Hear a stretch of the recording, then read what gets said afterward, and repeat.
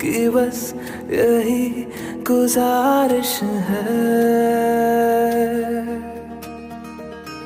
धड़े धड़कनों की सुननी बातें जो लोगों से कह न पाते दिल कि बस यही गुजारिश है। जब से मैं